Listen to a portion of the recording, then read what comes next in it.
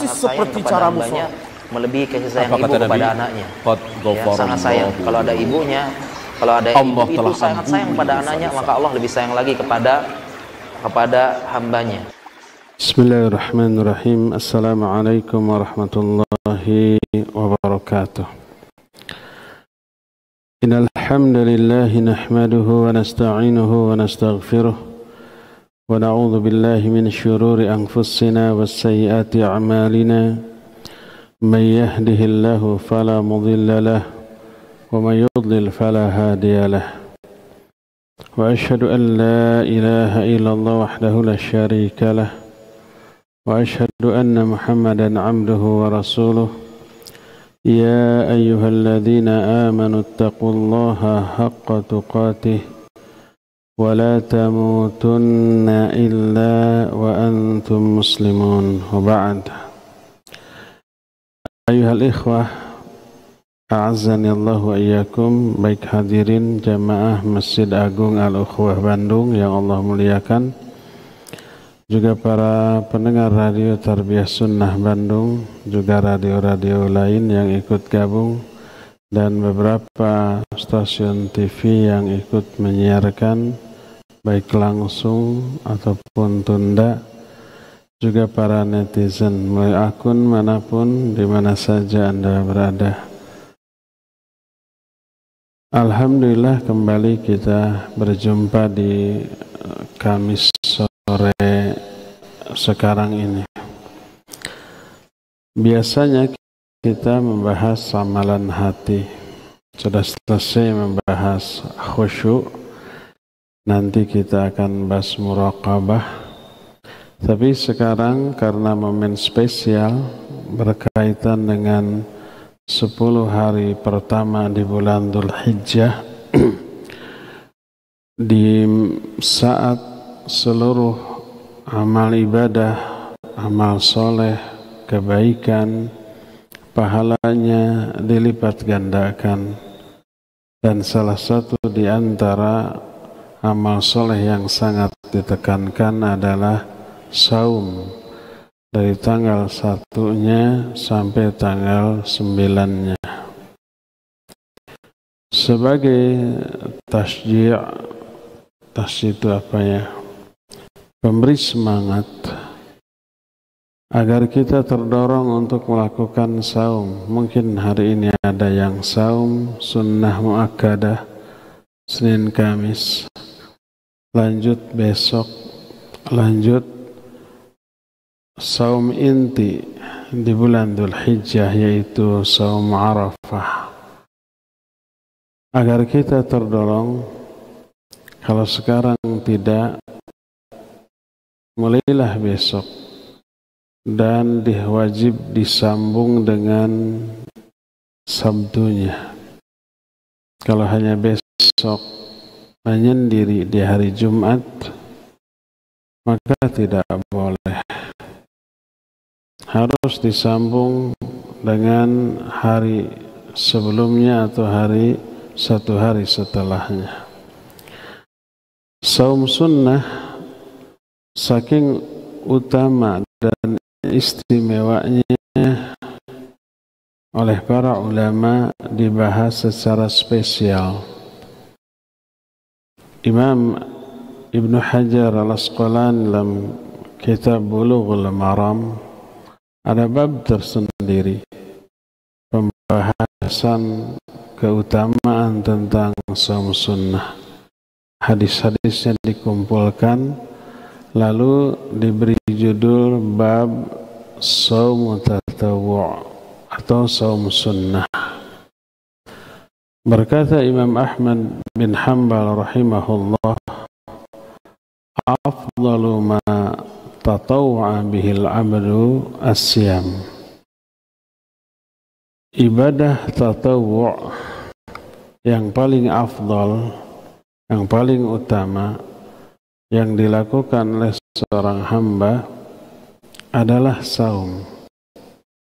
Tatawwu maknanya adalah ziyadah tambahan dari amalan yang wajib. Dan banyak sekali nilai-nilai agung yang terkandung di dalam ibadah sunnah baik sholat ataupun saum ataupun umroh atau haji bagi yang pernah haji semua itu sunnah salah satu di antara keutamaan atau fadilah dari amalan sunnah adalah penyempurna kekurangan dari ibadah-ibadah yang wajib.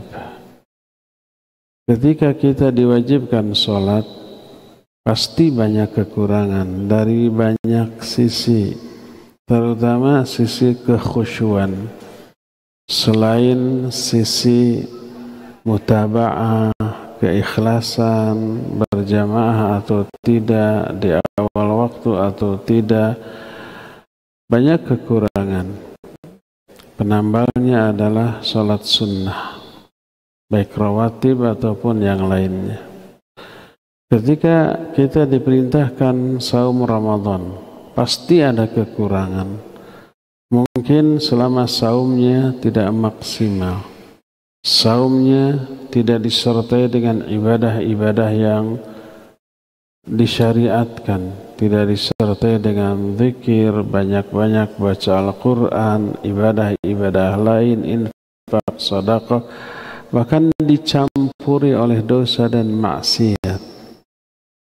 Maka sebagai penambal dari kekurangan saum Ramadan ada saum sunnah. Ini salah satu di antara faedah. Ada beberapa keutamaan dan keistimewaan lain dari saum sunnah. Di antara keutamaan saum sunnah adalah menjadi penyebab teraihnya ampunan yang sangat besar dan juga pahala yang sangat agung. Ampunan dan pahala ini ibarat tabungan dan hutang. Pahala adalah tabungan, dosa adalah hutang. Kalau orang punya banyak hutang tapi nggak punya tabungan, orang itu miskin bangkrut.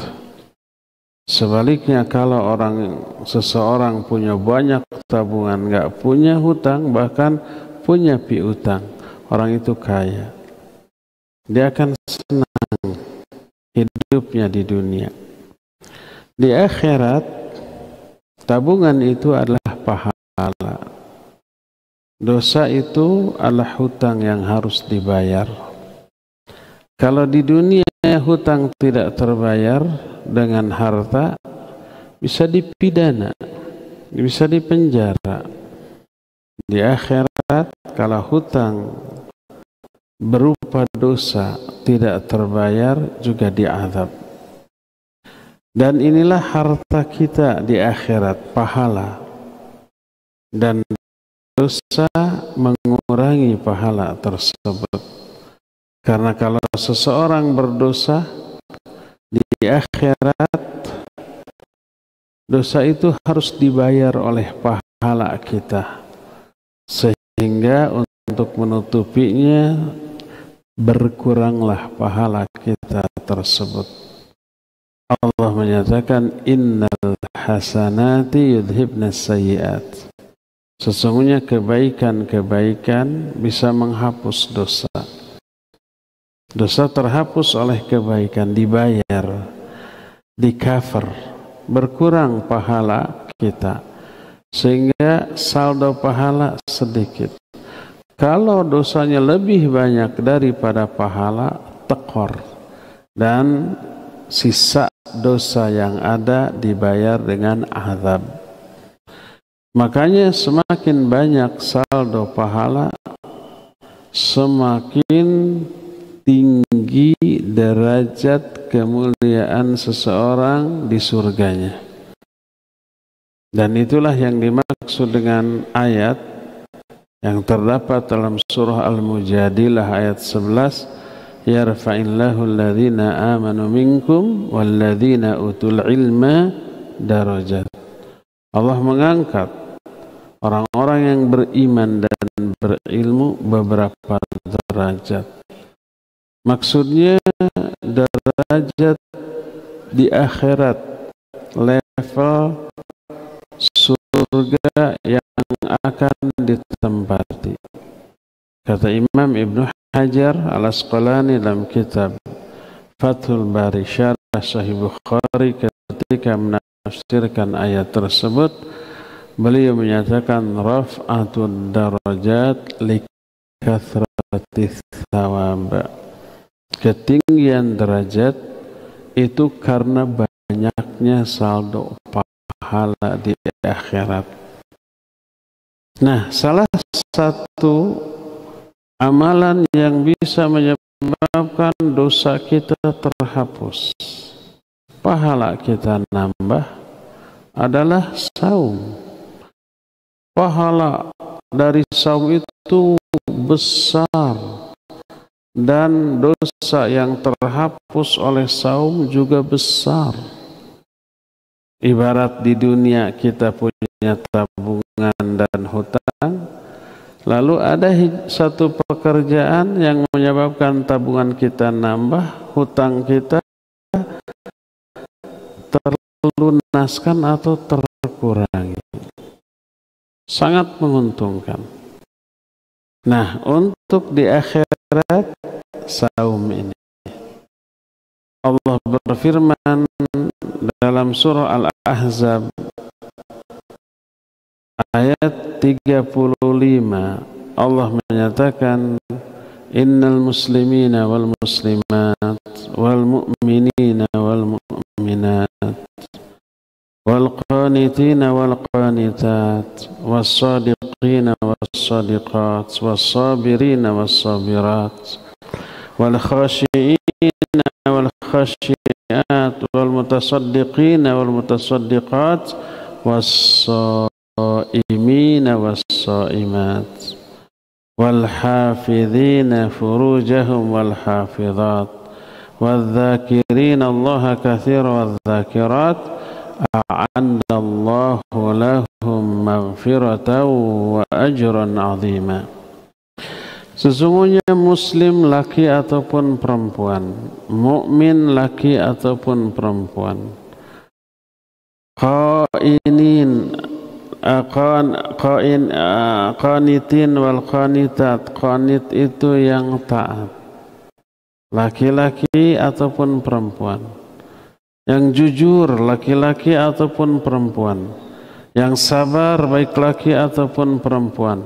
Yang khusyuk yang bersodakoh dan yang saum baik laki ataupun perempuan di akhir ayat ini Allah menyatakan Allah sediakan bagi mereka ampunan dan pahala yang besar ampunan besar menghapus banyak dosa dan pahala juga besar makanya Allah menyatakan wa antasumu khairul lakum in kuntum ta'lamun.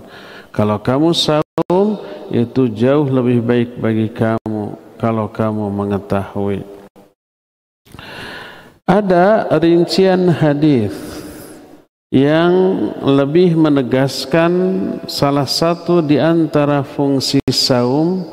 Saum itu adalah selain menghapus dosa, ini efek dari penghapus dosa adalah diselamatkannya orang tersebut dari api neraka. Penyebab seseorang masuk neraka adalah dosa. Saum menghapus banyak dosa. Otomatis aktivitas saum adalah aktivitas atau ibadah yang bisa menyelamatkan, menjauhkan seseorang dari api neraka.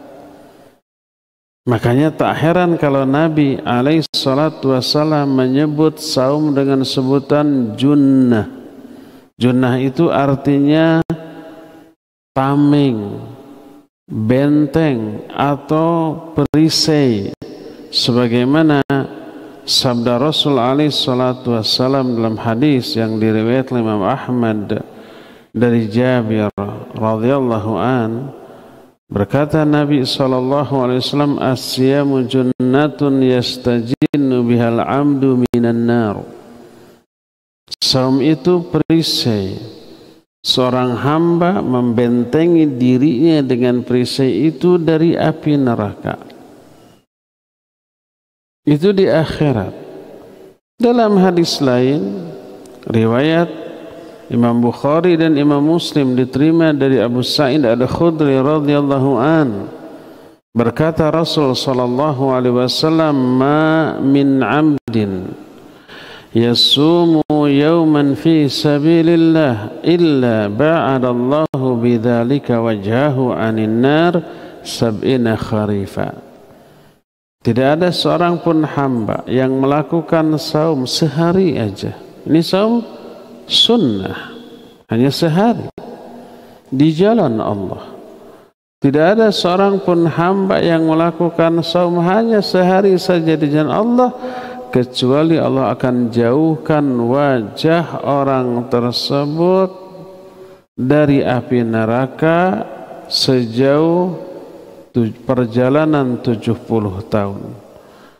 Dalam riwayat lain dengan lafaz yang sedikit berbeda diriwayatkan oleh Imam At-Tirmidzi diterima dari Abu Umamah berkata Rasul alaihi salatu wassalam man sama yauman fi sabilillah ja'alallahu bainahu wa bainan nar khandaqan kama bainas sama'i wal ard. Siapa orang yang saum sehari saja di jalan Allah Allah akan buat khandak Khandak itu parit antara dia dengan api neraka sejauh atau sejarak langit dan bumi. Ini sekedar ungkapan.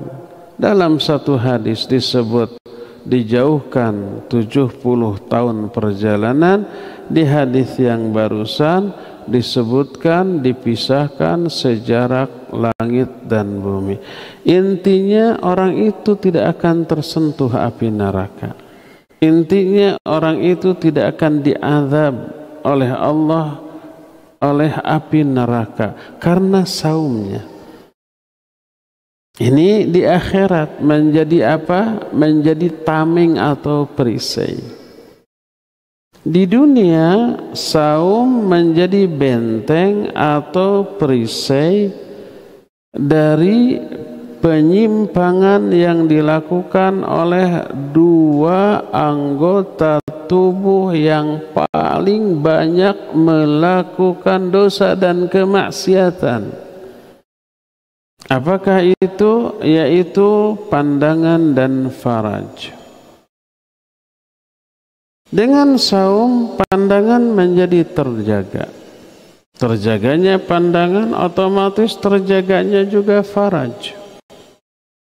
Sebagaimana sabda Rasul alaihi salatu wassalam. Ya ma'syaras syabab man istata'a minkumul ba'ah falyatazawwaj. Fa innahu aghaddu lil basar wa ahsanul faraj wa man lam yastati' fa alaihi innahu lahu wija. Hei kelompok pemuda Siapa di antara kalian yang sudah mampu menikah Menikahlah. Menikah itu bisa lebih menundukkan pandangan Dan memelihara faraj. Siapa yang belum mampu menikah Hendaklah dia saum. Karena saum itu pengendali Pengendali syahwat baik syahwat yang tersalur umumnya melalui pandangan mata melihat aurat, melihat lawan jenis termasuk fikiran termasuk obrolan apalagi faraj pengendali. Orang yang saum tidak ingin saumnya rusak tidak ingin pahalanya memerintahkan kita menahan diri dari tiga perkara yang hukum asalnya halal. Ketika saum jadi haram. Di luar saum halal lagi. Makan, minum, hubungan suami istri, syahwat. Tiga-tiganya halal. Jaga diri dari ketiga hal ini. Sementara waktu dari mulai fajar sampai maghrib. Setelah maghrib silakan makan lagi, minum lagi, menyalurkan syahwat lagi silakan. Tapi selama saum haram, tidak boleh. Kalau yang hukum asalnya halal saja, selama saum wajib dijauhi, apalagi kalau yang hukum asalnya haram. Baik dalam bentuk ucapan lisan, apalagi perbuatan, bahkan termasuk fikiran, hayalan, lamunan. Semua itu wajib lebih dijauhi selama saum. Kalau enggak, saumnya rusak. Maka orang yang saum terkendali seluruhnya. Jadi ini junnah saum di dunia. Pelindung, benteng, perisai bagi seorang hamba dari seluruh keburukan selama saumnya sehingga berakibat dia akan diselamatkan juga dibentengi, dilindungi oleh Allah dari api neraka, dijauhkan sejauh-jauhnya yang menyebabkan api neraka tidak menyentuhnya. Dari sinilah kita tidak heran kenapa saum itu sering kali oleh Allah dijadikan sebagai kifarat terhadap sebuah pelanggaran terhadap syariat. Kifarat itu maknanya adalah penghapus dosa. Ada beberapa ayat Al-Quran yang menerangkan bahwa saum itu adalah salah satu bentuk kifarat atas sebuah pelanggaran. Pertama, bila seseorang bersumpah dengan menyebut nama Allah, lalu sumpahnya dilanggar. Dosa tidak? Ya dosa. Apa penghapus atau penembus dari dosa itu? Salah satunya adalah saum tiga hari berturut-turut. Sebagaimana firman Allah dalam surah Al-Maidah ayat 89. Allah menyatakan walakin yu'akhidhukum bima aqadtumul aiman fakaffaratuhu it'amu asharati masakin min awsati ma tut'imuna ahlikum أو أو كسوتهم أو تحرير رقبة فمن لم يجد فصيام ثلاثة أيام. ذلك كفارة أيمانكم إذا حلفتم. Kata Allah, kalau kamu melanggar sumpah-sumpah kamu, maka kifaratnya adalah memberi makan sepuluh orang fakir miskin dari menu pertengahan yang biasa kalian makan dengan keluarga kalian atau ngasih pakaian kepada sepuluh fakir miskin. Menu kita tiap hari kan beda-beda ya. Awal bulan dengan daging, dengan ati, dengan yang mahal-mahal. Pertengahan dengan yang pertengahan mungkin turun jadi dengan pindang gitu ya. Dengan ikan uh, tawar. Akhir bulan mah tahu tempe bahkan dua tiga hari terakhir hanya dengan sambal goang Menunya berbeda-beda. Ambil pertengahan. Siap atau membebaskan budak kalau budak sekarang tidak ada. Maka siapa faman lam yajid siapa yang tidak mampu, tidak mampu memberi sepuluh fakir miskin makanan. juga tidak bisa membebaskan budak, hendaklah dia saum tiga hari. Itulah kifarat dari sumpah-sumpah kalian yang kalian langgar. Maka terhapus dosa tersebut. Demikian juga kalau seorang suami melakukan zihar kepada istrinya. Zihar itu dia berjanji atau mengharamkan me menggauli istrinya berjanji untuk tidak menggauli istrinya. Kamu haram atas diriku. Dengan berbagai macam ungkapan. Kalau orang Arab menyatakan anta alayya ka ummi kamu eh, anti alayya ka dhahri ummi kamu bagiku seperti punggung ibuku. Itu maksudnya saya tidak akan menyentuh kamu. Maka namanya zihar. Dikiranya bisa kuat. Sehari kuat, dua hari, tiga hari. Lewat tiga hari nggak tahan untuk mendekati istrinya kembali. Nggak boleh.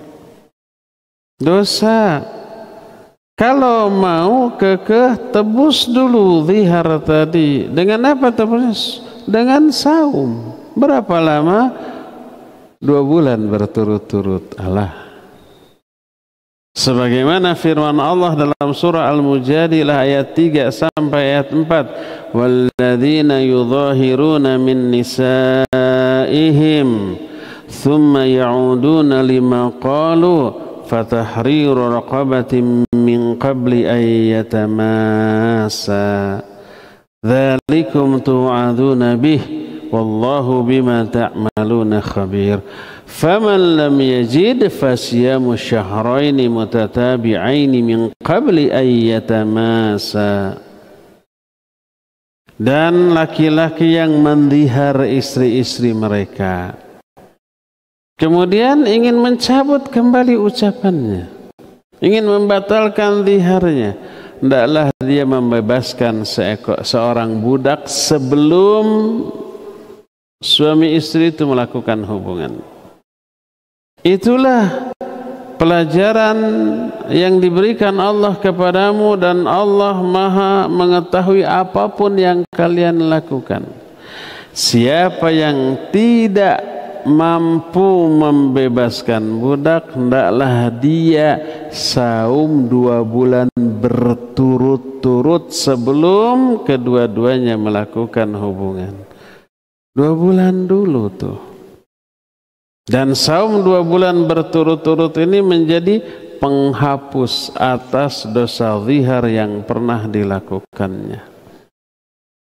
Jadi dijadikannya Saum sebagai kifarat atas pelanggaran terhadap ketetapan syariat menunjukkan fungsi saum sebagai penghapus dosa.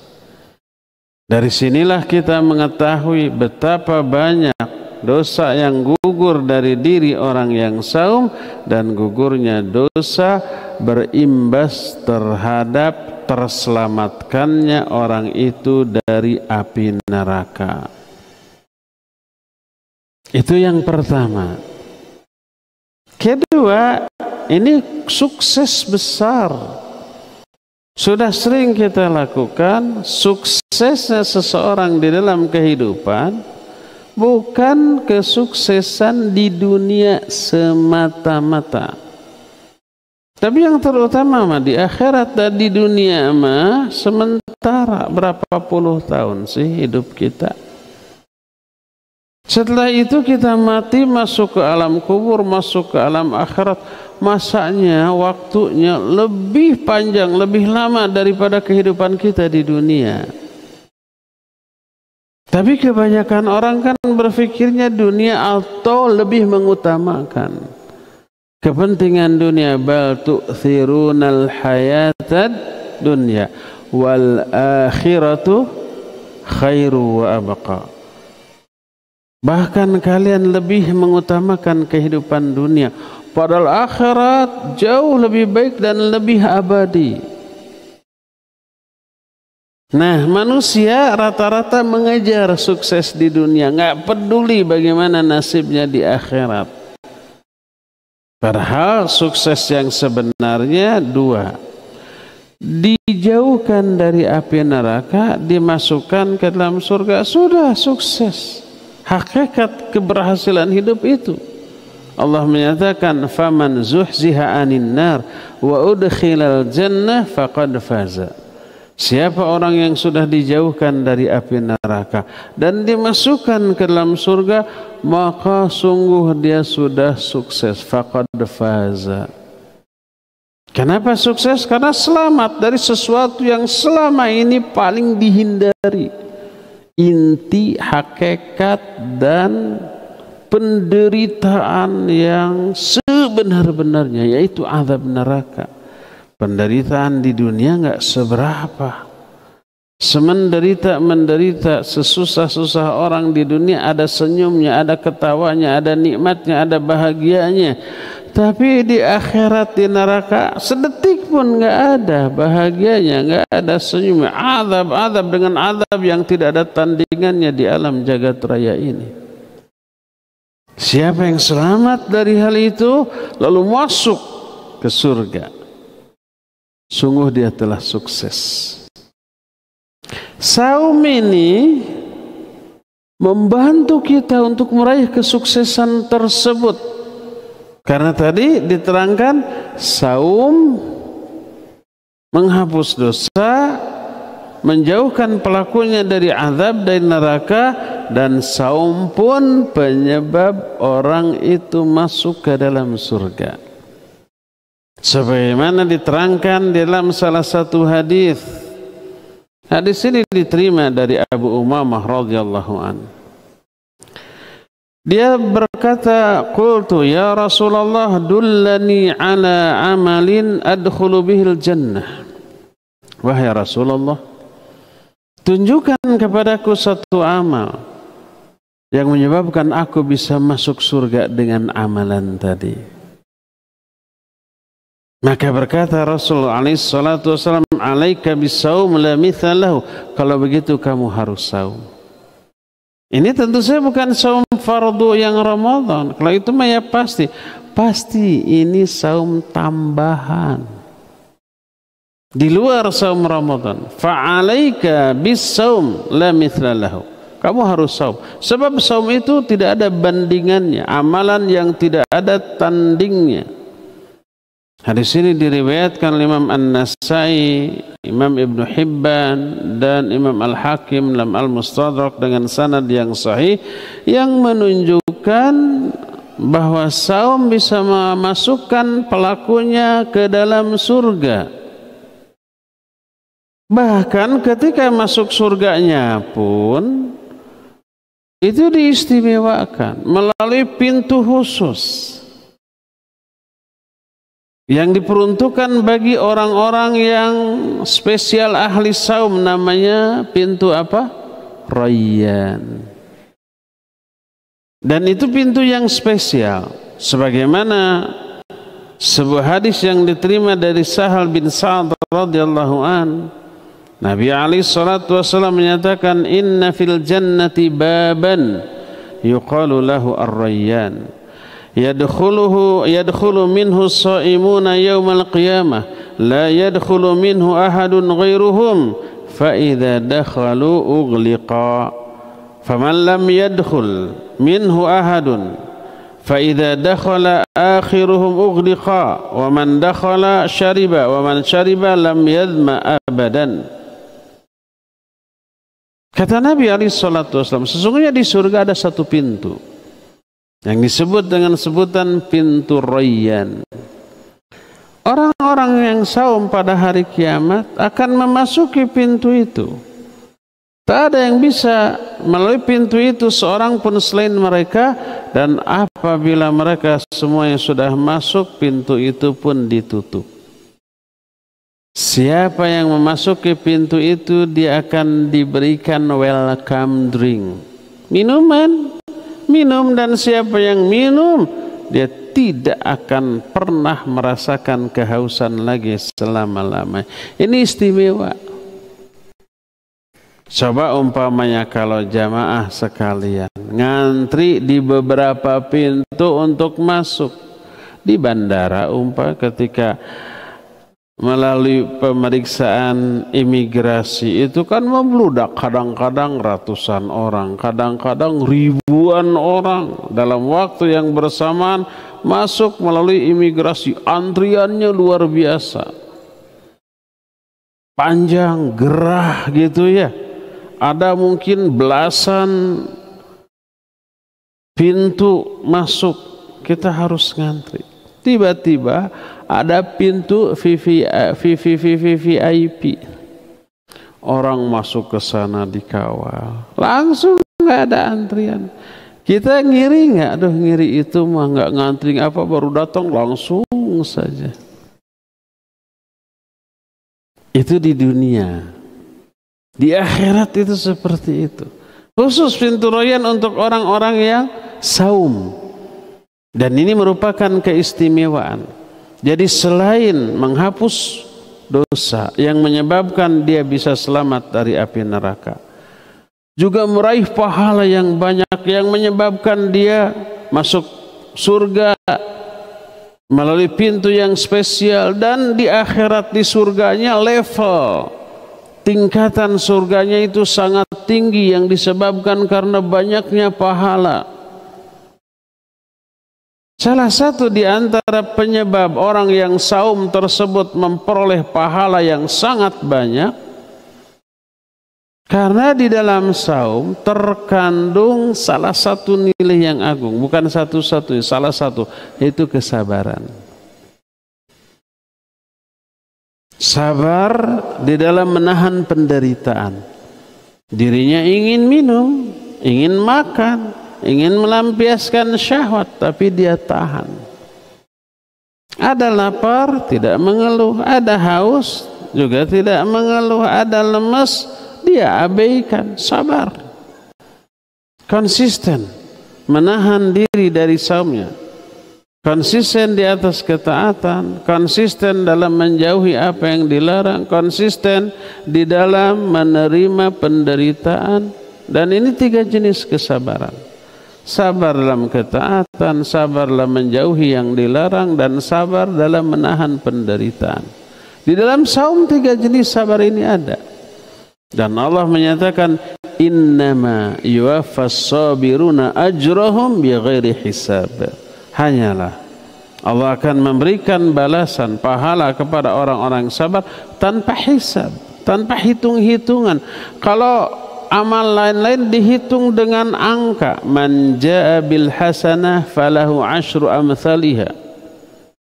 Ila sab'i mi'ati Siapa orang yang melakukan satu kebaikan baginya akan diberikan pahala 10 kali lipat sampai 700 kali lipat. Disebut angka kalau amalan lain. Kalau saum enggak tanpa angka digelontorkan dengan jumlah yang tidak terkira Makanya dalam salah satu hadis kudsi Allah Azza wa Jalla berfirman Kullu amal ibni Adam lahu illa siyam fa innahu li wa ana ajzi bihi Seluruh amalan anak Adam bagi dirinya sendiri kecuali saum. Saum itu untukku, untuk Allah Azza dan aku yang langsung membalasnya. Makanya tidak disebut angka ketika membalasnya berapa kali lipat? Apa 10 3 700 kali 1000 enggak. Pokoknya innama yuwaffas ajrahum bighairi hisab. Tanpa hisab. Digelontorkan dengan jumlah yang sangat banyak. Plus ada plusnya tuh pahala saum. Kita pernah bahas. Di antara penjelasan al-Imam Ibnu Qayyim rahmatullahi alaihi bahwa pahala saum adalah pahala yang tak bisa diambil untuk membayar kezaliman seseorang kepada orang lain. Itu utuh. Berdasarkan hal itulah maka tidak heran apabila Saum ini menghasilkan pahala yang sangat banyak sebagaimana ayat tadi was-shaimina was-shaimat a'adallahu lahum maghfirata wa ajrun azima. Orang-orang yang saum baik laki-laki ataupun perempuan Allah siapkan bagi mereka ampunan dan pahala yang sangat besar. Besarnya pahala disertai besarnya ampunan menyebabkan level surga orang tersebut super tinggi. Karena minimnya dosa bahkan terhapus seluruhnya pahalanya banyak ini saldo pahala yang tersisa dari diri seorang hamba setelah ditimbang itu menentukan derajat kemuliaan atau tingkat dia di surga makanya sering kali pahala oleh Nabi Shallallahu Alaihi Wasallam diungkapkan dengan istilah darajat. Sebagaimana dalam salah satu hadis Innal muslimal musaddad yudriku bi husni khuluqihi darajata sawamil qawwam. Sesungguhnya seorang muslim yang musaddad. Musaddad itu tidak istimewa Musaddad itu sederhana Simple Dia hanya mengerjakan yang fardu yang sunnahnya sering ditinggalkan. Ini namanya musaddad. Seorang muslim yang musaddad bihusni khuluqihi. Dengan kebaikan akhlaknya, dengan kemuliaan karakternya. Yudriku darajatas sawamil qawam akan mampu meraih derajat sawam dan qawam Sawam itu artinya orang yang rajin saum. Bentuk segat mubalaghah dari soim. Kalau soim orang yang saum, saumnya sekali dua kali. Tapi kalau rajin terus saum disebut sawam. Qawam orang yang rajin tahajud, salat malam hari. Bayangkan Betapa banyaknya seseorang yang malamnya tahajud terus-terusan, siangnya saum terus-terusan. Segimana pahalanya? Segimana ketinggian derajat dia nanti di akhirat? Tapi ketinggian derajat atau banyaknya pahala ahli saum dan ahli tahajud bisa diraih oleh orang yang jarang tahajud, jarang saum sunnat yaitu seorang muslim yang biasa tapi dia akhlaknya sangat mulia nggak menyakiti orang. Kemuliaan akhlak itu menyenangkan orang dan tidak membuat orang menjadi tersinggung tersakiti marah emosi. Pernah dengarkan kisah Abdullah bin Amr radhiyallahu anhuma? Tentang dia sedang ngariung sama Nabi alaihi salatu wassalam. Lalu beliau berkata sebentar lagi ada seorang ahli surga yang akan datang. Ternyata datang seseorang. Oh ini ahli surga. Besoknya begitu juga sebentar lagi datang calon penghuni surga. Dia lagi sudah tiga kali. Sampai Abdullah bin Amr itu penasaran diikuti orang itu. Minta izin nginep tiga hari tiga malam untuk mengorek rahasianya apa amalan hebat apa yang dia lakukan sehingga Nabi Ali Shallallahu Wasallam mengabarkan bahwa orang tersebut ahli surga. Ucapan Nabi tadi bukan doa, tapi berita mimbabil ikhbar walaysa mimbabil doa. Mana yang lebih kuat? Doa atau berita? Jawab batu. Doa apa berita yang lebih kuat? Doa? Berita? Berita. Kalau doa belum tentu dikabul, ya enggak?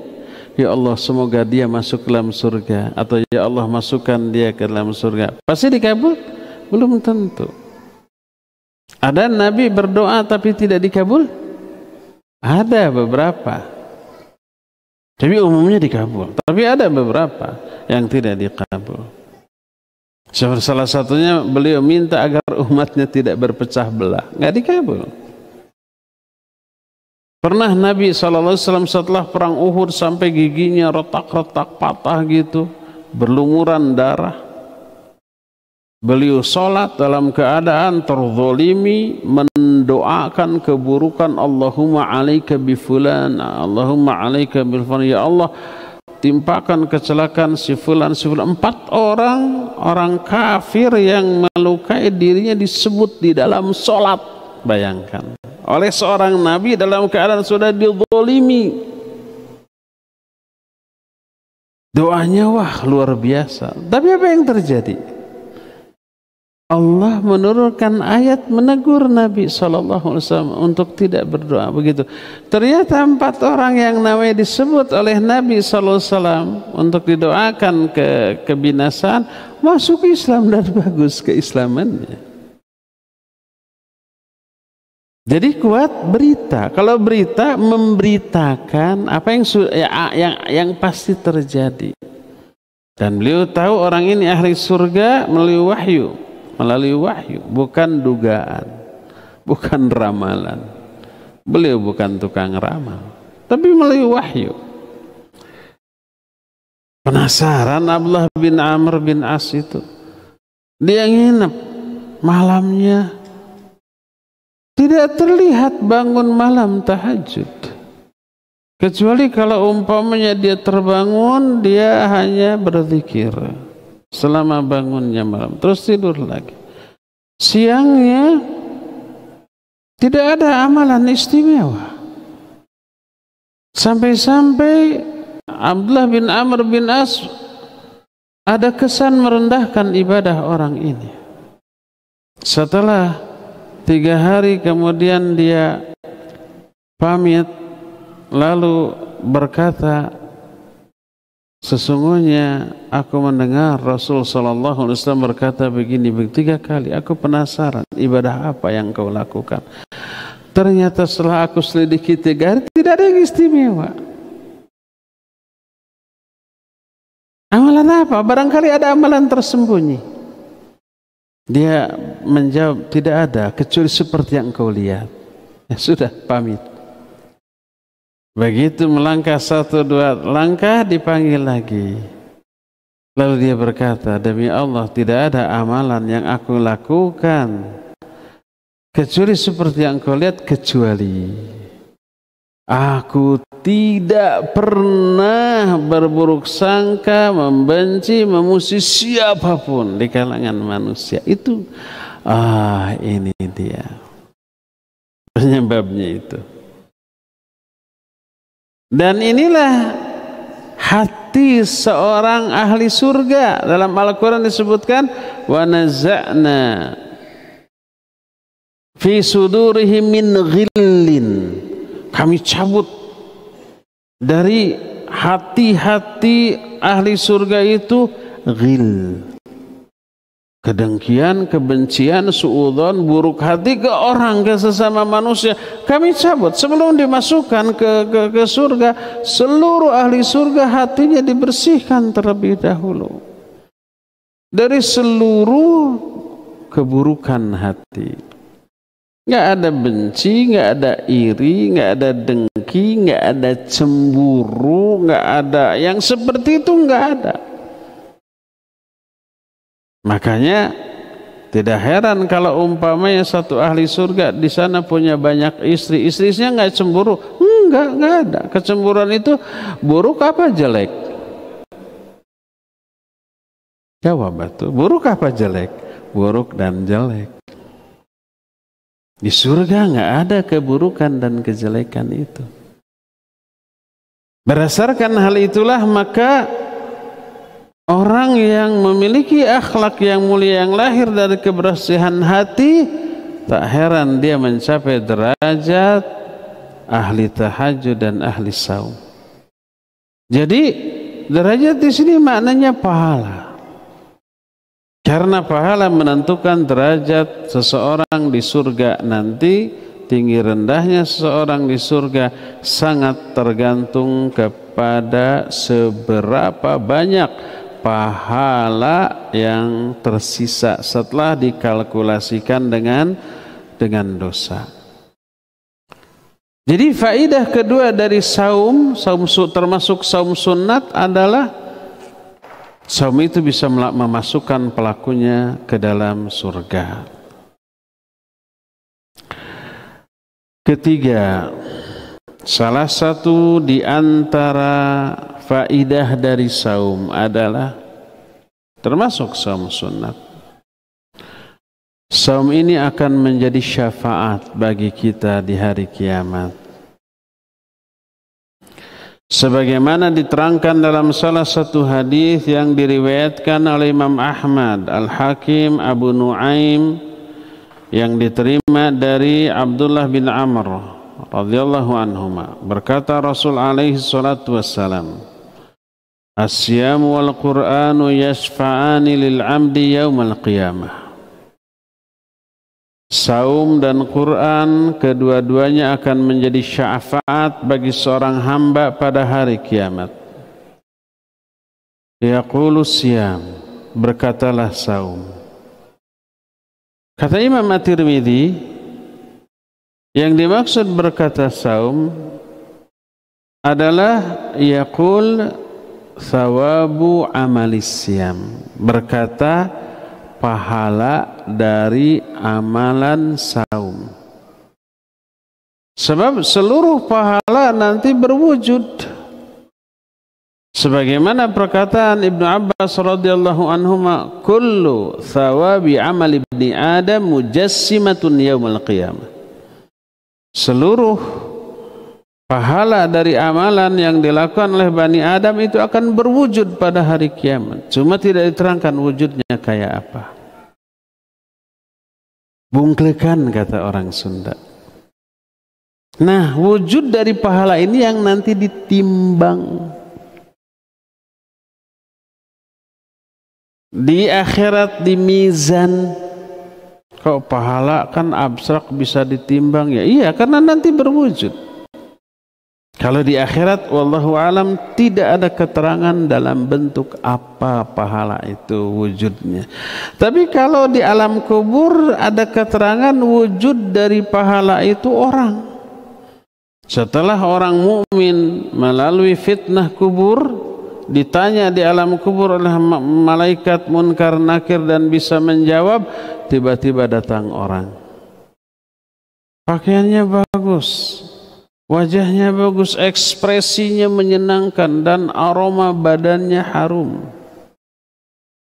Ringkasnya cerita ini terlalu panjang hadis ini. Jadi ringkasnya cerita ketika ditanya man anta?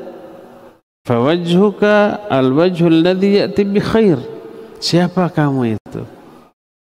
Wajahmu itu wajah yang datang dengan membawa banyak kebaikan. Dia menjawab, Ana amaluka soleh. Aku adalah amal solehmu waktu di dunia. Ma'araftuka illa annaka sari'un fi ta'atillah bati'un fi ma'siyatillah fajazakallahu khairah. Aku tidak mengenalmu ketika di dunia kecuali kamu ini orang yang sangat bersegera dalam menunaikan ketaatan. Tapi lelet dalam melakukan kemaksiatan. Dipertimbangkan akhirnya enggak jadi. Gitu tuh. Maka Allah membalasmu dengan kebaikan pada hari ini. Eh ternyata orang itu amal soleh berwujud menjadi orang. Adapun orang yang kafir atau durhaka setelah dia ditanya oleh malaikat munkar nakir tidak bisa menjawab lalu diazab, digencet sampai remuk tulang belulangnya lalu kembali utuh seperti sedia kala datang orang. Buruk rupa, buruk sikap, baunya menyengat. Ditanya, "Man ant?" Fawajhuka al-wajhul ladhi ya'ti bisyar. Siapa kamu ini? Wajahmu itu wajah yang datang dengan membawa keburukan. Dia menjawab, Ana amalukal khabith. Aku adalah amal busukmu ketika di dunia. Fawallahi ma'araftuka illa annaka sari'un fi ma'siyatillah bati'un an, an ta'atillah fajazakallahu syarra.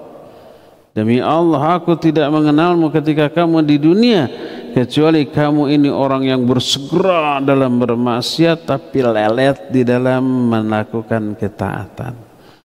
Dengar azan cuek nantilah zuhur mah sampai jam 3 masih ada gitu ya ada pengajian lah ngaji mah nanti di YouTube juga ada sambil ngagoler bari jeung henteu. Sekali membuka YouTube yang dibuka apa? Bukan pengajian pasti yang menghibur uh, jiwa busuknya. Lagu gitu ya musik atau apa pun hiburan-hiburan yang melalaikan dia pasti begitulah. Allah membalasmu dengan keburukan pada hari ini itu di alam kubur amalnya berubah menjadi orang. Kita boleh memilih tipe orang yang bagaimana yang akan mendatangi kita di alam kubur. Boleh ah saya mah suka yang buruk-buruk, so buruk. Ari tahan. Kalau kita ingin yang mendatangi kita orang yang ramah, menyenangkan, wangi gitu ya, uh, baik maka itulah amal kita. Lakukan amal baik di dunia ini. Itulah wujud dari amal di alam barzakh. Adapun di akhirat tidak ada keterangan. Tapi pahala ini bisa ditimbang dan bisa bicara. Yang dimaksud yaqulu siyam berkata siyam yakni yaqulu thawabu siyam berkata pahala saum. Ay rabbi mana'tuhu ta'am wasyahwat fasyafi'ni fihi. Ya Allah aku telah menghalangi orang ini dari makan minum dan syahwat. Jadikan aku syafaat bagi dia. Fayaqulul Qur'an berkata Al-Qur'an Kata Imam At-Tirmidzi salah satu perawi hadis ini dan rawi hadis lebih faham makna dari hadis yang diriwayatkan. Yaqulul Quran yakni yaqulu thawabu qiraatihi. Berkatalah pahala bacaan Al-Quran bukan Qurannya. Sehingga hadis ini tidak bisa dijadikan dalil bahwa Quran itu makhluk kita kan sudah bahas Quran itu kalamullah. Kalamullah itu salah satu sifat Allah dan itu bukan makhluk. Siapa sampai Imam Ahmad menyatakan Imam Syafi'i juga menjelaskan man qala anna al-Qur'an al-makhluq faqad kafar. Siapa yang berkata Quran itu makhluk dia kufur. Oh, sekeras itu. Iya, karena penyimpangannya nggak main-main. Siapa yang meyakini Quran makhluk ada dua kemungkinan. Pertama meyakini Quran ini ucapan Nabi SAW bukan wahyu Allah dan itu kufur. Dan ucapan Nabi makhluk. Kedua meyakini bahwa Quran itu kalamullah tapi tidak meyakini itu sifat Allah. Merendahkan sifat Allah Azza wa Jalla. Makanya dua-duanya apa pun maknanya kufur. Quran kalamullah. Kalamullah sifat Allah. Sifat Allah sama dengan zat Allah, bukan makhluk. Makanya kita boleh berlindung kepada kalimat-kalimat Allah. A'udzu bi kalimatillahi tamah min syarri ma atau mendoakan bai'u'idzuka bi kalimatillahi tamah aku melindungkan engkau kepada kalimat-kalimat Allah. Karena kalimat Allah wahyu Allah sifat Allah itu bukanlah makhluk itu sifat. Sifat sama dengan zat. Jadi tidak boleh meyakini Quran atau mengatakan Quran itu makhluk. Yang dimaksud Quran bukan mushafnya. Quran tertulis di mushaf, Quran dilisankan oleh lidah, Quran dipelihara di dalam dada. Dadanya, lisannya, mushafnya makhluk. Tapi apa yang tertulis di mushaf, apa yang dilisankan oleh lidah, apa yang dipelihara dari Quran itu wahyu Allah. Bukan makhluk. Ada orang yang salah memahami hadis ini yaqulul Quran berkata Quran ya Rabbi ya Rabbi maksud ya Rabbi ya Khaliqi wahai penciptaku kan gitu ya Oh berarti Quran itu makhluk karena berkata kepada Allah ya ya Rabbi artinya ya Khaliqi. Dia salah faham. Itulah kalau memahami baik ayat ataupun hadis dengan otak. Makna otak adalah al-jahal atau al-hawa, kebodohan atau hawa nafsu. Ingat, akal bukan alat untuk memahami apa pun, bukan. untuk memahami apa pun ilmunya. Kita ingin faham tentang sains, tentang teknologi. Alat memahaminya apa? Ilmu sains, ilmu teknologi. Kita ingin memahami tafsir. Ada ilmunya, ilmu tafsir. Isikan ilmu itu ke akal kita, baru akal kita tersebut akan faham. Kalau akal tersebut kosong dari ilmu itu ya bahaya memahami apa pun nggak akan kalau orang dalam memahami oh, ilmu-ilmu dunia tanpa ilmu nggak berani umpah berbicara tentang kedokteran saya punya akal tapi nggak pernah belajar di fakultas kedokteran. Baca satu dua buku pernah. Jurnal pernah artikel pernah dengar pernah. Tapi belajar secara terkurikulum nggak pernah. Berani nggak kita berbicara tentang kesehatan? Enggak pasti tanya ke dokter. Berani nggak kita mengobati diri sendiri atau orang hanya baca-baca? Enggak enggak berani. Ah lebih baik ke dokter bisa salah karena kalau salah fatal kan ya bisa tambah sakit atau lama sembuh atau bahkan mati itu dunia. Bayangkan kalau ini agama salah. Akhirnya melahirkan akidah yang salah, tauhid yang keliru, pemahaman yang menyimpang dan diyakini benar. Oh, ini susah memperbaikinya ya. Termasuk memahami hadis ini yaqulul Quran berkata Quran ay rabbi ya rabbi oh ini Quran makhluk itu karena otaknya memahami dia yang kosong dari ilmu tentang kaidah tauhid. Kaidahlah memahami tauhid. Akhirnya menyimpulkan dengan kesimpulan yang bertolak belakang dengan ayat-ayat lain dan banyak hadis lain. Yaqulul Quran ay yaqulu thawabu qiraatihi. Berkata pahala dari membaca Al-Quran. Ay Rabbi manatuhu an-nauma bil-lail fasyafi'ni fi. Ya Allah aku telah menghalangi orang ini dari tidur di malam hari. Jadikan aku sebagai syafaat bagi orang ini fayashfa'an. Baik saum maupun Quran menjadi syafaat bagi orang ini. Ini menunjukkan salah satu di antara faidah keuntungan dari saum termasuk saum sunnat jangan abaikan saum. Karena saum itu Nabi SAW menyatakan la mithlalah tidak ada bandingannya.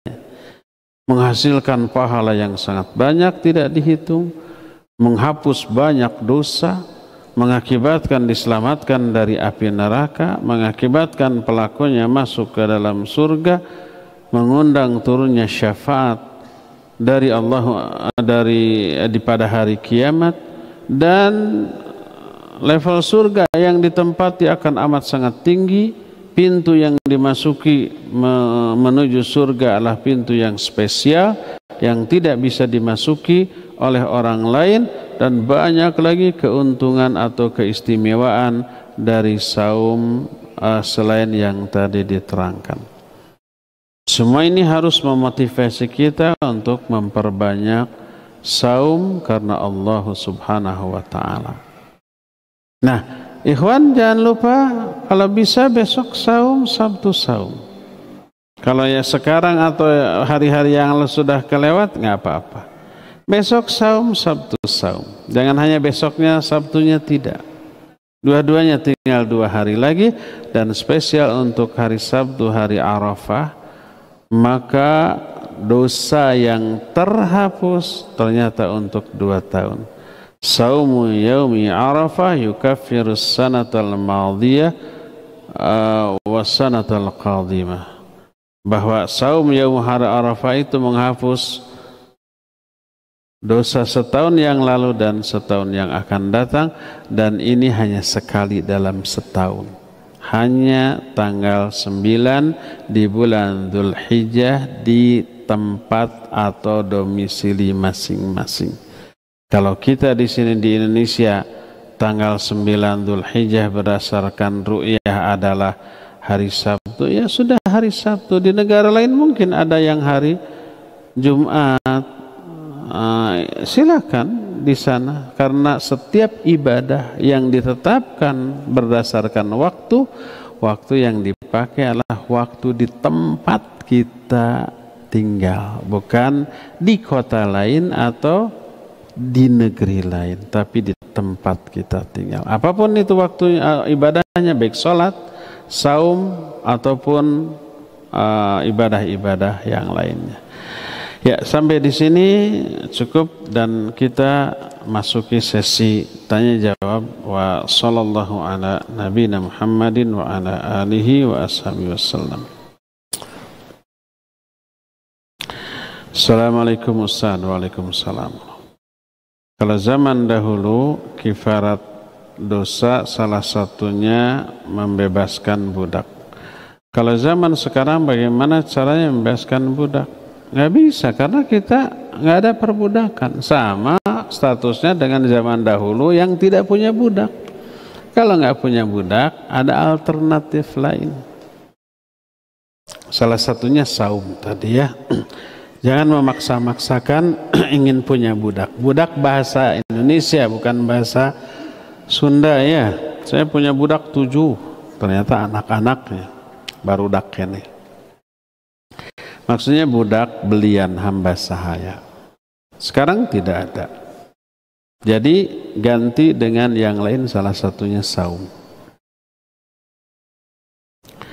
Assalamualaikum Waalaikumsalam Afan melenceng dari tema Bagaimana hukumnya sholat id di dalam masjid Karena di tempat kami tidak ada halaman tanah lapang Apa itu termasuk udur syari? Iya boleh boleh. Kalau memang tidak ada lahan ya apa boleh buat. Atau ada tapi tidak memungkinkan secara teknis seperti becek atau yang seperti yang lain-lain maka boleh. Mekah Madinah, Masjid Haram dan Masjid Nabawi, masjid itu dipakai sholat itu ya. Karena di tempat lain tidak memungkinkan gitu. Kan banyak lapang tanah kosong di sana. Iya, tapi riweh karena harus ngagogotong maik ah segala macam akhirnya di masjid nggak apa-apa boleh Bismillah Ustaz Afan minta dijelaskan contoh jihar yang lam yang lain. Maksudnya jihar yang lain apa? Arti intinya gini zihar zihar itu mengharamkan dirinya untuk menggauli istrinya karena kesel karena emosi. Lalu dia demi Allah saya tidak akan menyentuh kamu lagi. Itu zihar. Atau dengan ungkapan lain. Seperti peribahasa tadi haram kamu bagi saya seperti haramnya ibu atau adikku umpamanya pokoknya intinya bersumpah tidak akan menggauli istri itu zihar ya Saum sehari sebelum saum Arafah disebut saum Afa dan apa keutamaannya? Iya, hari ke-8 disebut hari Tarwiyah. Adakah saum Tarwiyah?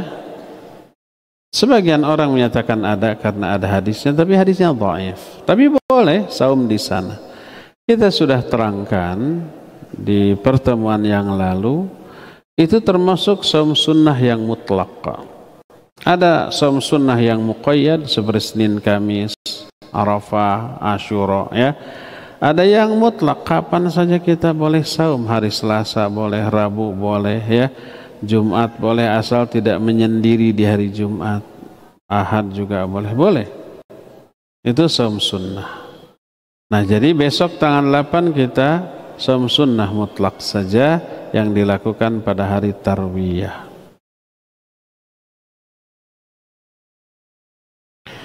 Bagaimana dengan orang yang saumnya rajin tapi lisannya sering menyakitkan dan sering berniat baik membantu orang lain tapi caranya salah sehingga sering merugikan. Keburukan akhlak setelah ibadah, kejelekan perbuatan setelah melakukan amal soleh, itu indikator ibadah amal soleh tadi ditolak oleh Allah, tidak diterima. Orang sholat, setelah sholat gibah. Gibahnya itu pertanda sholatnya tadi itu ditolak oleh Allah. Mungkin karena niat, mungkin karena kurang mutabah, ada bid'ah yang terselip, mungkin tidak khusyuk, ngelamun, atau karena faktor-faktor lain yang menyebabkan sholatnya rusak. Sebagai tanda sholatnya rusak, tidak ada dampak terhadap perilaku setelahnya. Para Al-Quran menyatakan inna salata tanha anil fahsyai wal munkar. Salat bisa mencegah pelakunya dari keji dan munkar. Maksudnya salat yang makbul, yang diterima.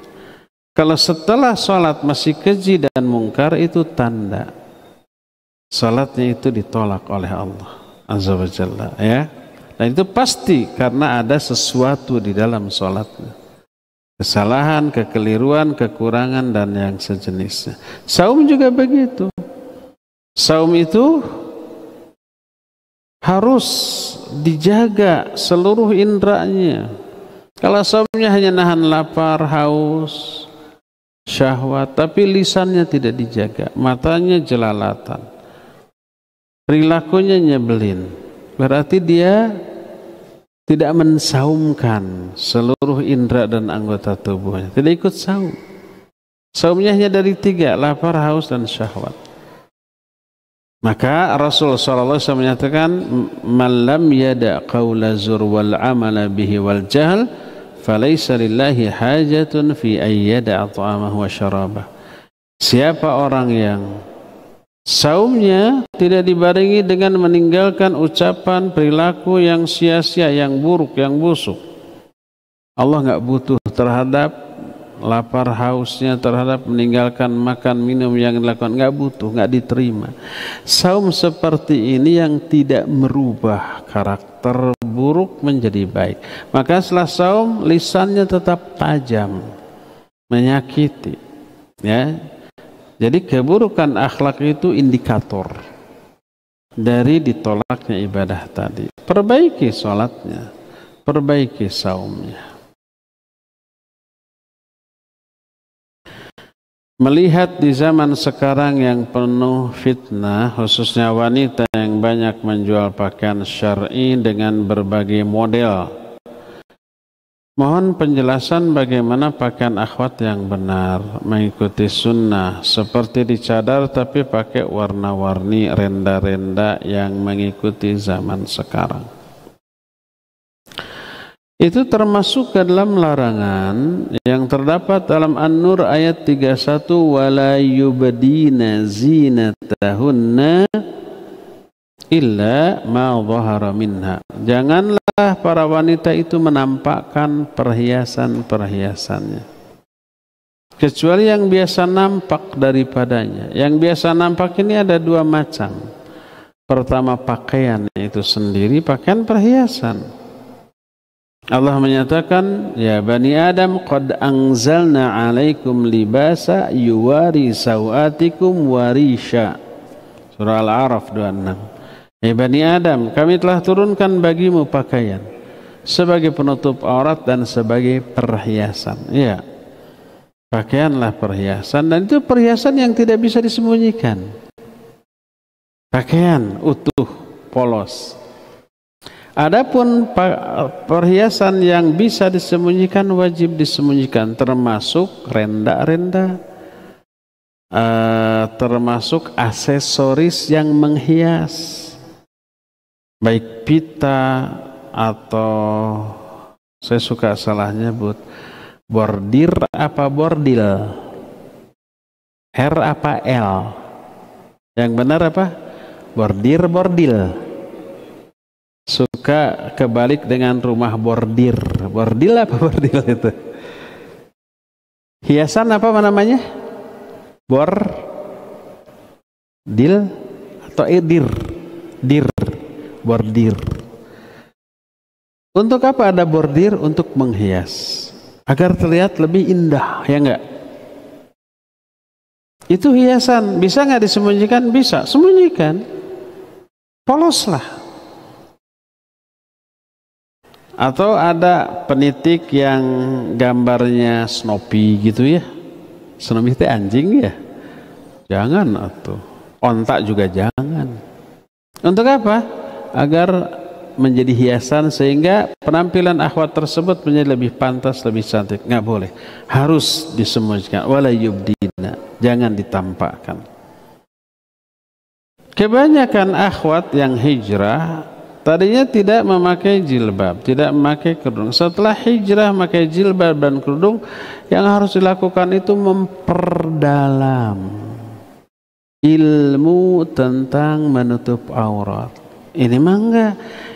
Ilmu tentang menutup aurat syar'inya tidak difahami, tapi ilmu tentang model cara berhijab agar tetap kelihatan modis Kan gitu rata-rata ya betul apa benar? Betul dan benar. Kadang-kadang ada brand tertentu, brand ini mahal kerudung atau jilbab ditampakkan. Saya beberapa hari yang lalu apa ya? Ada emak-emak dari Jakarta.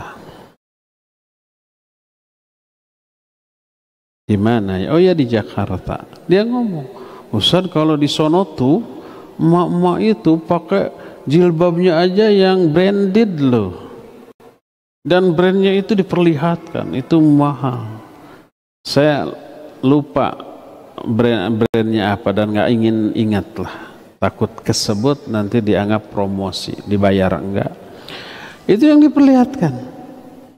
Jadi ujub dengan pakaian mahalnya. Kelihatannya indah ya.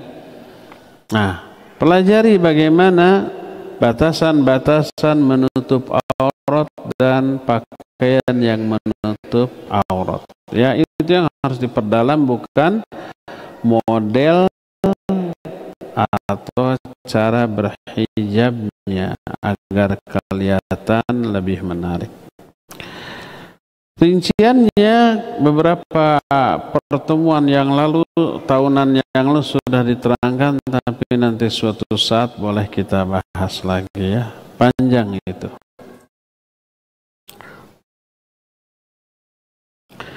Ustaz, amalan apa saja yang dapat membantu membersihkan hati dari rasa benci, cemburu, dengki, dan lain-lain? Pertama, pelajari bahaya dari semua yang buruk tadi. Bahaya membenci mendengki cemburu itu bahaya. Pelajari. Setelah dipelajari ih ngeri banget. Akhirnya takut kita. Akhirnya berupaya membersihkan diri. Kedua pelajari keutamaan dari hati yang baik, yang bersih. Nanti kita kabita, oh begini. Akhirnya terpacu untuk memiliki hati yang bersih. Jadi yang pertama dan kedua ini berkaitan dengan ilmu. Kedua, jangan lupa berdoa kepada Allah agar Allah membersihkan hati kita.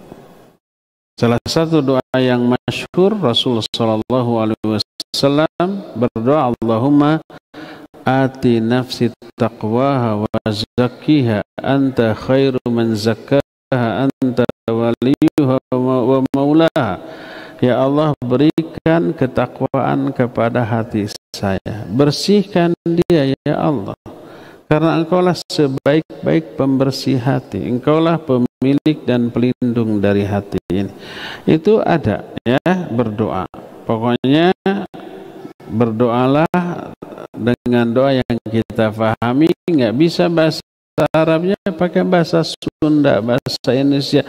Ya Allah bersihkan hati abdi. Ulah ayah anu nyesa dina hate boh ngewa boh segala rupa kawanan lahnya dan seterusnya silakan ketiga gaul gaul dengan orang-orang yang soleh orang yang berilmu orang yang berakhlak sehingga kalau kita keceplosan cepat ditegur dengan sebaik-baik cara kita akan menahan diri ya dari perilaku dan ucapan yang mencerminkan isi hati. Isi hati busuk yang keluar busuk. Isi hati dengki ada gibah, ada mencela, ada memfitnah. Nanti kawan-kawan soleh akan membimbing kita. Dan jauhi kawan-kawan yang hatinya busuk. Nanti kita akan terbawa kebusukan mereka ya.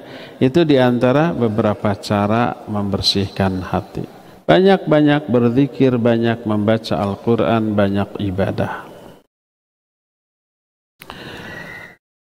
Mohon nasihat nasihatnya nasihat meren. Terkadang ketika banyak beramal menjadikan kita takut riak Sedangkan ketika memiliki penyakit hati seperti ria akan sia-sia amalan tersebut. Bahkan tadi malah dapat ditandingi dengan orang yang sederhana. Jadi bagaimana Ustaz? Tetap beramal tapi jangan ria. Sembunyikan amal itu. Jangan dipamer-pamerkan. Jangan ingin dipuji. Niatkan ibadah, amal yang kita lakukan untuk memperoleh apa yang ada di sisi Allah bukan memperoleh apa yang ada di sisi manusia hanya ingin dilihat, dinilai, diapresiasi, dibalas oleh Allah bukan oleh sesama manusia. Manusia mau melihat mau tidak. Mau mengapresiasi mau tidak. Mau ngasih likes atau tidak. Mau komen atau tidak. Mau uh, senang atau tidak terhadap amalan kita sebodoh amat. Fudail bin Iyad menyatakan tarkul amali li ajli nas riya wal amalu li ajli nas syirkun. Meninggalkan amalan karena manusia itu ria. Saya mah nggak mau sholat tahiyatul masjid bisa dipuji ke orang eh itu ria.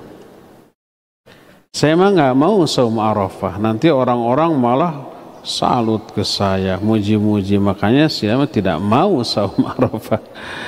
Itu ria. Meninggalkan amalan karena orang itu ria. Beramal karena orang syirik. Ini istilah lain. Ria juga syirik kecil. Ini juga syirik kecil beramal karena orang syirik. Lalu apa yang dimaksud dengan ikhlas? Al-ikhlas ayyu'afiyana minhuma. Semoga Allah menyelamatkan kita dari kedua-duanya. Jadi baik meninggalkan amalan atau melakukan amalan bukan karena orang, tapi karena Allah. Bukan ingin dinilai oleh manusia, tapi dinilai, dibalas, diapresiasi, dipuji oleh Allah, bukan oleh orang. Ya, itu saja. Jangan pedulikan omongan orang terhadap amalan kita. Apakah pemuda yang diceritakan oleh Nabi tadi termasuk orang yang dimaksud kalbun salim? Kalbun salim lebih luas dan lebih mendasar. Kalbun salim itu hati yang selamat dari syirik, kufur, dan seluruh keburukan. Ada orang yang hatinya bersih kesama kesama orang, tapi dia syirik. Dia ke dukun, dia ke kuburan minta-minta umpamanya ya. Tapi ke orang baik nggak pernah memusuhi itu bukan kalbun salim. Yang terutama kalbun salim itu hati yang selamat dari syirik, dari kufur, dari bid'ah, dari maksiat, dari syahwat. Nah ini mencakup semuanya termasuk dari dengki, benci dan yang sejenisnya tadi. Jadi tidak hanya kalbun salim itu ya. Uh, yauma la yanfa'u malun wala banun illa man atallaha biqalbin salim. Ya, pada hari kiamat tidak ada manfaatnya anak-anak ataupun harta kecuali orang yang datang kepada Allah dengan membawa hati yang selamat. Selamat dari syirik, dari kufur, dari kebidahan, dari kesalahan dalam memahami agama ini. Nah, ini otomatis mencakup semuanya termasuk mencakup akhlak ya.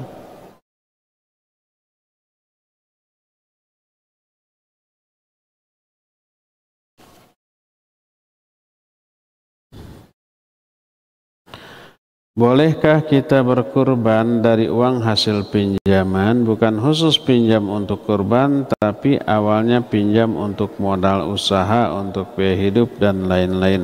Yang pengembalian pinjamannya seandainya laku rumah atau mobil. Ya boleh minjam kalau kita yakin bisa melunasinya. Baik karena kita memiliki umpamanya gaji. Umpamanya sekarang kan kurban tanggal 10-an ya. Uh, uang gaji umpamanya dari tanggal 1 nggak cukup kalau untuk memberi kambing. Tapi nanti gaji yang akan datang cukup bisa menutupi. Boleh kita pinjam dulu. Atau kita ada sesuatu yang sedang dijual dan bisa laku segera. Sekarang kurban. Belum laku juga boleh pinjam dulu. Jadi kalau ada sesuatu yang bisa kita andalkan, yang kemungkinan besar bisa menutupi hutang kurban tadi boleh berhutang untuk kurban. Adapun kalau tidak memiliki bayangan dari mana bayarnya untuk makan sehari-hari aja susah, akhirnya pinjam 3 juta untuk kurban. Jangan. Karena pertama dia tidak terkena kewajiban. Yang kedua, dia membebani diri karena nanti tidak bisa membayar hutang. Karena tidak ada andalan yang bisa diandalkan untuk bayar hutang, ya.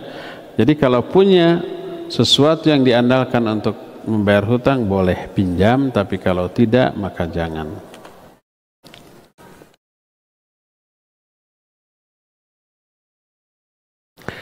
Saat saum, apa yang menjadi afdol jika dibatalkan? Apakah ada undangan, acara keluarga, tamu ke rumah, atau kita bertamu, apakah afdolnya dibatalkan? Baik, barakallahu fiqh. Yang afdol dibatalkan adalah kalau saum sunnah tersebut menghalangi kewajiban. Seperti umat kita safar dalam safar kita ada kewajiban yang harus ditunaikan, umpamanya tugas dari kantor. Dan itu wajib kita tunaikan karena janji kita ketika masuk kerja di kantor itu. Pas saum sunat kita namru gitu, harusnya meeting dengan si fulan dengan sini nggak bisa karena leles, lapar, haus. Akhirnya tidak tertunaikan. Batalkan saum. Nah itu. Kedua kalau sakit, kalau umpai sakit dibawa saum bisa memperparah, memperlama sembuh, bahkan bisa terancam kematian, batalkan. Membatalkannya wajib, bukan hanya afdol. Nah sekarang bagaimana kalau ketamuan atau kita bertamu? Apakah lebih utama dibatalkan atau tidak? Tergantung. Kalau orang yang kita datangi, kita sebagai tamu umpamanya, Kemudian kita disuguhi. Kalau kita tidak makan, dia kecewa berat. Sudah jauh-jauh, oh tidak makan. Sudah nganjuk hutang, masak, menyembelih kambing gitu ya ingin dimakan ternyata eh saum oh kecewa berat. Batalkan.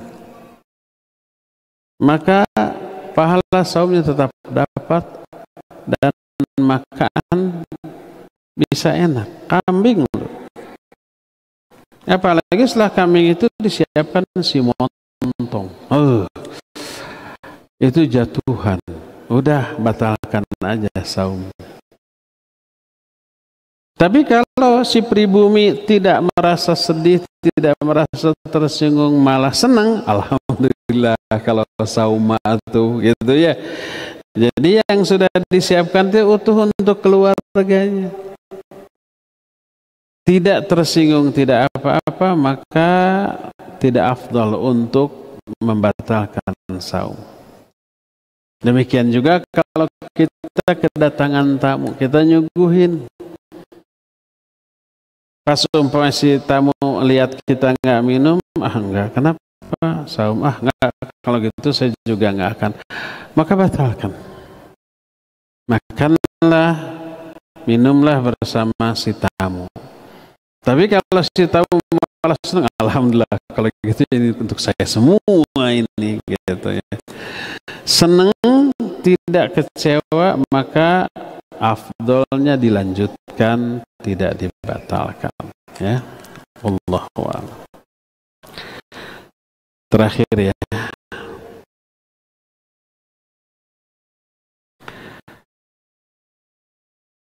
Afan izin bertanya beberapa. Uluh ayat opat ya. Bagaimana hilal sudah terlihat di Arab sedangkan di Indonesia belum? Padahal dari segi waktu Indonesia lebih dahulu. Ya, pertama sangat mungkin. Jadi yang terutama ru'yatul hilal bukan wujudul hilal. Wujud itu, wujud itu hilal sudah ada, cuma nggak kelihatan maka maka itu tidak secara syar'i tidak di, tidak dianggap masuk bulan baru. Kata Nabi saw. "Fa in ghumma 'alaikum fakmili uh, Sya'ban 30 yauma." Kalau ghumma 'alaikum tidak terlihat karena terhalang awan, hilal mungkin ada, sudah wujud. Tapi terhalang awan tidak bisa diru'yah. Maka hari itu berarti masih kalau itu Sya'ban masih Sya'ban kalau itu Ramadan masih Ramadan. Sempurnakan menjadi 30 hari. Itu kan dilakukan di hari ke-29 di hari 29 meru'yah hilal. Dan ahli hisab menghitung dulu kalau di atas 4 derajat terlihat. Kalau di bawah 3 derajat tidak terlihat walaupun hilal sudah ada sudah wujud tidak terlihat belum bulan baru secara syar'i jadi ikuti ketetapan syariat bukan ikuti ketetapan ilmu astronomi menurut ilmu astronomi sudah wujud sudah ada hilal hanya nggak kelihatan Syariat menyatakan sumu li ru'yatihi waftiru li ru'yatihi. Saumlah, berbukalah karena melihat. Bukan karena wujud. Makanya wujud mungkin ada tapi terhalang awan. Mungkin di atas 4-5 derajat terlihat tapi ada awan. Maka tidak. Ya. Jadi walaupun sudah ada hilal tapi tidak terlihat maka sempurnakan saum menjadi 30 hari. Sangat mungkin di negara lain terhalang awan tidak terlihat, di negara yang lain terlihat karena apa? Karena tidak ada awan. Beda nggak? Beda ya jelas nggak apa-apa. Karena dua-duanya berpegang kepada patokan syari ini terlihat, ini tidak gitu. Ini terhalang, ini tidak gitu. Beda nggak masalah. Jadi ini yang pertama. Kedua, yang dilihatkan bulan bukan matahari. Perputaran bulan dengan matahari bertolak belakang. Kalau matahari lebih dahulu Indonesia daripada Saudi, kalau Saudi, eh kalau bulan lebih dahulu Saudi daripada uh, matahari. Kita kan bukan meruyah matahari, meruyah bulan. Kalau beda kita dengan Saudi 4 jam gitu ya untuk matahari ini. Berarti perbedaan bulan 20 jam dahulu Saudi sangat wajar kalau di sana lebih dahulu daripada di kita. Oleh karena itulah maka Nabi menyatakan sumu li ru'yatihi waftilu li ru'yatihi. Jadi sholatlah kalian karena melihatnya. Dan berbukalah karena melihat. Kalau tidak melihat berarti belum. Gitu saja. Dan itu di setiap negara bisa berbeda-beda. Terus bagaimana sholatnya? Nabi SAW menyatakan al, uh, apa uh, yaumal fitru yauma yusallin nas wal adha yauma yudhuhin nas. Salat Idul Fitri harus dilakukan ketika orang-orang di sekitar kalian salat Idul Fitri. Idul Adha juga demikian. Dan ini patokannya waktu bukan aktivitas jamaah haji. Kan jamaah haji di sana wukufnya tanggal 9. 9 uh, di Arafah, 9 Saudi gitu. Iya, wukufnya. Tapi 9 Saudi itu di sini masih tanggal 8 untuk bulan Komariah bukan Syamsiah karena di sana bulan lebih dahulu daripada di sini. Dan makanya tidak heran kalau hampir setiap tahun atau lebih seringnya Saudi lebih dahulu dari kita jangan ribut sudah. Ikuti aja penanggalan dan waktu ibadah di tempat kita tinggal. Awal saya ceramah tadi Hari Arafah kita adalah hari Arafah di Indonesia yang berbeda dengan di Saudi. Tidak berkait dengan jamaah haji yang sedang wukuf di Arafah ya.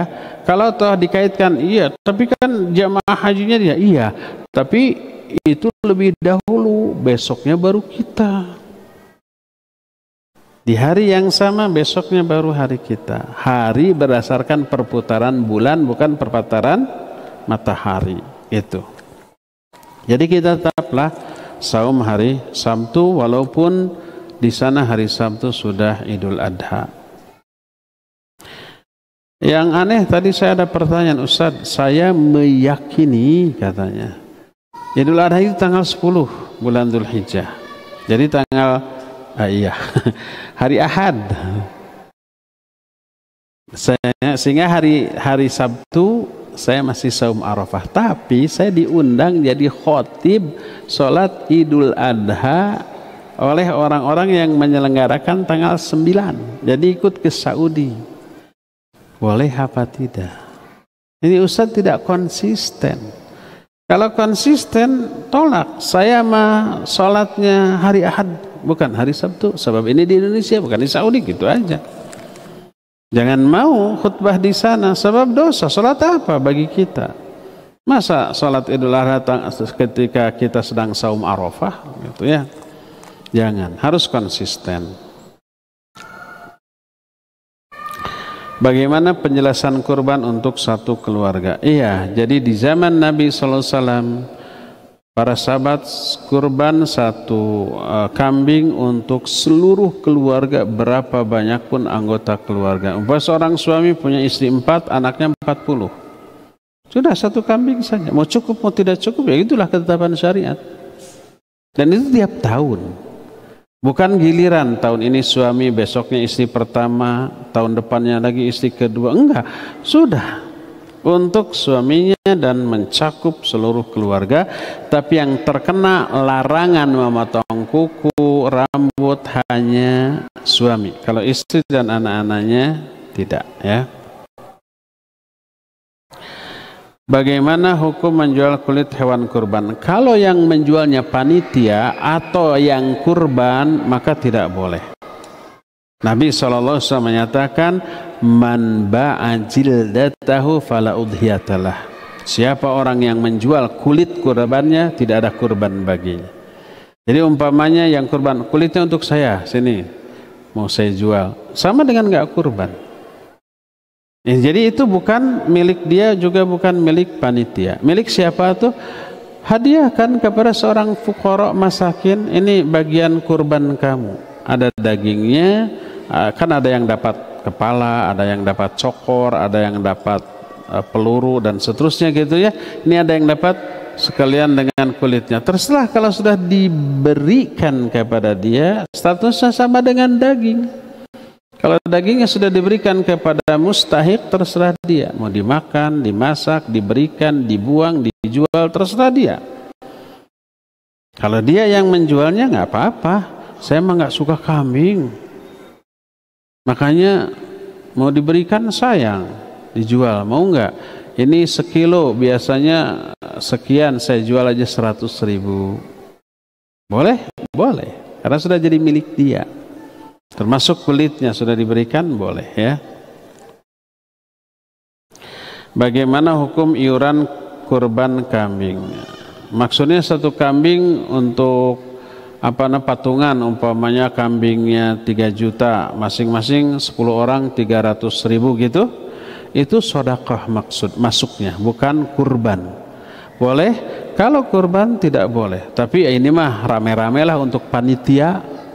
Panitia kan nggak boleh mengambil upah dari daging kambing itu sebagai upah. Tapi sebagai bagian dia dari sebagai warga dapat bagian boleh. Tapi karena sebagai panitia dapat lima bungkus nggak nggak boleh sebagai upah nggak. Termasuk eh, dari sekian puluh kambing sembelih dua untuk konsumsi panitia berarti upah nggak boleh. Nabi SAW ketika menyuruh Ali untuk mengurus kurbannya beliau berpesan agar disembelih dibagikan kepada fakir miskin dan tidak boleh memberi upah kepada pekerjanya dari daging kurban. Kata Ali, nahnu nu'tihi min indina kami memberi upah itu dari saku kami. Boleh memberi upah ke panitia, ke yang jagalnya, ke yang ulitinya, tapi jangan diambil dari daging kurban itu. Jadi diagendakan atau dialokasikan, dianggarkan dari yang lain. Kalau gitu rugi panitia nggak dapat kurban? Enggak, dapat dia sebagai warga dapat bukan sebagai panitia atas upah kerja sebagai kepanitiaannya ya jadi kalau umpamanya ada orang patungan satu kambing sepuluh orang itu bukan kurban tapi berpahala sebagai sodakoh tapi tidak berpahala sebagai kurban. Ya cukup ya sampai di sini. Subhanakallahum bihamdik. Asyhadu an la ilaha illa anta. Astaghfiruka wa atubu ilaik. Walhamdulillahirabbil alamin. Wassalamu alaikum warahmatullahi wabarakatuh